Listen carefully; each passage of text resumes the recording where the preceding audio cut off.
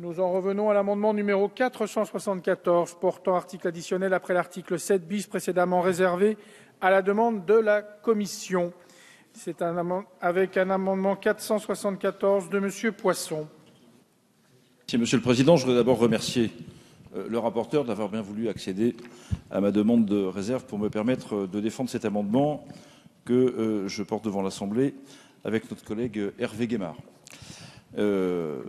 Je peux comprendre qu'à la lecture de cet amendement qui vous est proposé, vous considériez qu'il puisse y avoir matière à sourire. En effet, euh, nous sommes là, compte tenu de l'ensemble des dispositions que nous prenons et qui ont un caractère, on va dire, assez austère par la force des choses.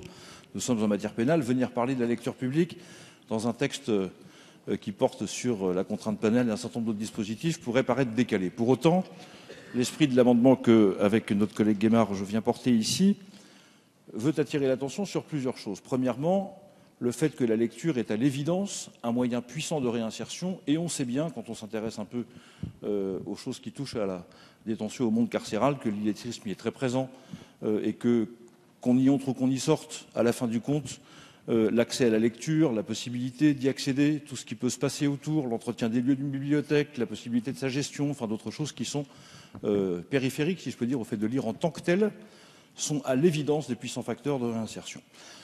Nous avons débattu, Madame le Ministre, depuis, et Monsieur le rapporteur, chers collègues, depuis quelques jours maintenant, sur l'opportunité de veiller à ce que des personnes qui se rendent coupables de délits ou de crimes ne puissent pas être embarquées dans une forme d'enfermement quelle qu'elle soit, et qu'au contraire, nous puissions réfléchir à la manière de les aider à en sortir.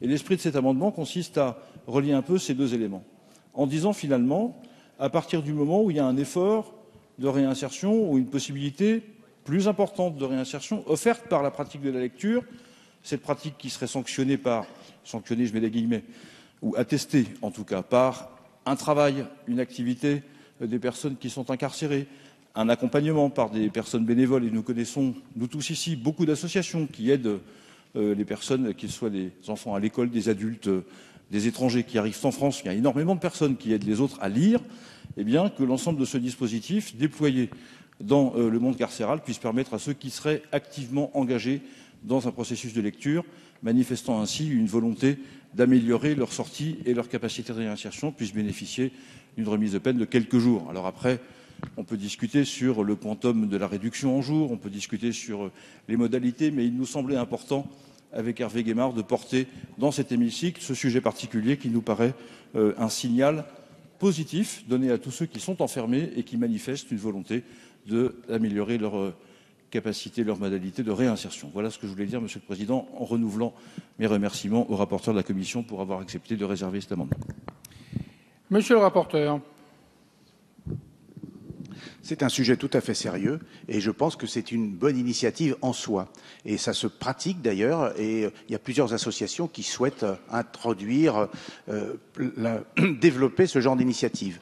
Mais une fois que l'on a dit ça, introduire de cette façon-là dans la loi, de façon aussi rigide, en prévoyant le nombre de jours de réduction de peine qui vont être prévus pour le résumé d'un livre, ça pose quand même beaucoup d'autres difficultés. D'une part, à côté de la lecture, il y a d'autres activités de, ce type-là qui pourraient bénéficier euh, de, de remise de peine si elles sont accomplies dans de bonnes conditions. Le sport, euh, le cinéma, le théâtre, donc il y a d'autres activités. Et puis il y a une deuxième difficulté qui est une difficulté importante.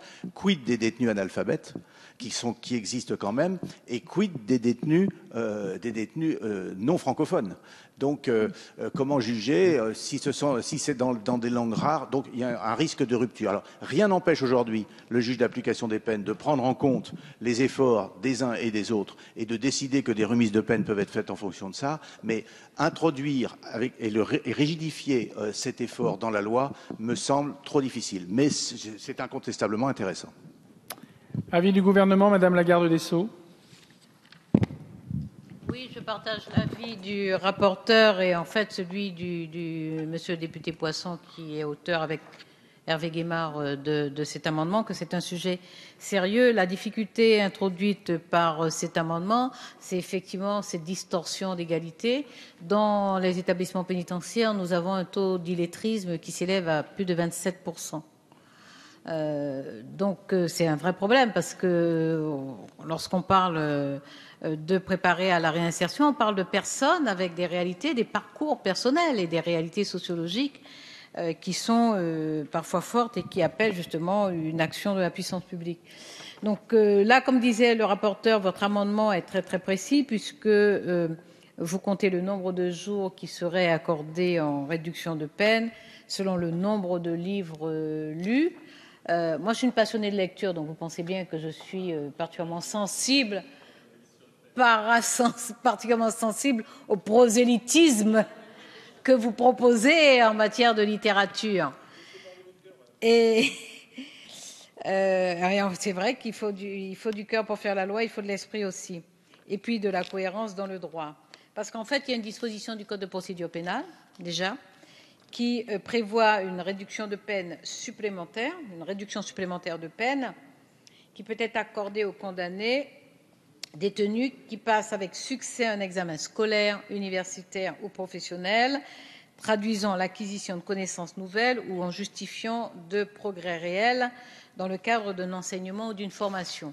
Alors, ça ne règle pas totalement le problème de, l'illettrisme, parce que la difficulté de l'illettrisme, c'est aussi la durée de la peine, parce que dans les établissements, nous avons des enseignants, euh, nous avons signé il y a quelques mois avec la ministre, euh, aujourd'hui d'Outre-mer, mais qui était alors ministre de la réussite éducative, une convention pour renforcer l'intervention de l'éducation nationale dans euh, les établissements pénitentiaires et lutter contre l'illettrisme. Une des difficultés que, me signalent euh, régulièrement les enseignants qui interviennent dans ces établissements, c'est la durée. C'est la durée. Souvent, l'illettrisme, c'est-à-dire la population précaire, fragile et assez fortement illettrés, c'est une population euh, qui se retrouve incarcérée souvent pour de courtes durées parce que ce sont des délits, euh, euh, des délits, je répète, toutes les infractions ont leur degré de gravité, mais souvent ce sont des délits qui n'ont pas un, grand degré, un fort degré de gravité.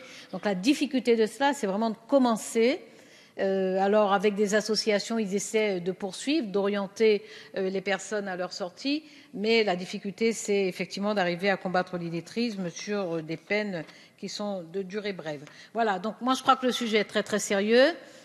tout ce que l'on peut faire et que nous faisons déjà, parce que nous avons aussi des conventions avec les mairies pour faire tourner le stock de livres, parce qu'évidemment nous n'avons pas assez d'argent malheureusement pour alimenter les bibliothèques aussi souvent que cela serait nécessaire. Donc nous avons des conventions avec des mairies qui permettent euh, une rotation parce que euh, les mairies nous approvisionnent pour une durée donnée de, fonds de livres. Donc moi je serais évidemment très très favorable à ce qu'il y ait des mesures incitatives. Il y a déjà celle-là prévue au 721.1 du Code de procédure pénale. Pour le reste, votre, la proposition très précise que vous faites euh, introduit une distorsion qui rend difficile son acceptation euh, dans le Code. Voilà, c'est donc bien à regret que je vous dis que. Monsieur Poisson.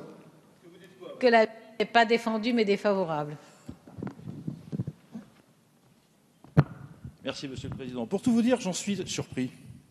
Parce que, euh, pour avoir écouté précisément votre argumentation, je ne serai pas très long, euh, Monsieur le Président, Madame la Ministre, chers collègues. Monsieur le rapporteur me dit, au fond, il y a quelque chose qui relève d'une précision trop importante. Enfin, vous n'avez pas dit que ça relevait de c'était réglementaire, mais pas loin. Je, me permets d'interpréter un peu à la vite, mais grosso modo, c'est ce que ça veut dire. Euh, et puis après, vous signalez vous-même qu'il y a aussi dans le code à d'autres endroits des dispositions parfaitement comparables et puis rédigées dans des circonstances qui ne sont pas tout à fait, euh, enfin, pas complètement différentes en réalité de ce que nous proposons ici. Puis, Madame le garde des Sceaux, euh, que vous soyez ici dans votre rôle de garantir que le droit soit rédigé dans les termes qui sont équitables, évidemment, ça se respecte. Qu'après, euh, on puisse, comme vous l'avez dit, d'une certaine façon, comparer la lecture, le sport et le cinéma. Et je comprends que vous l'ayez fait, ça fait partie effectivement des... Ah pardon, c'est le rapport, excusez-moi, autant pour moi. Euh, et que vous disiez...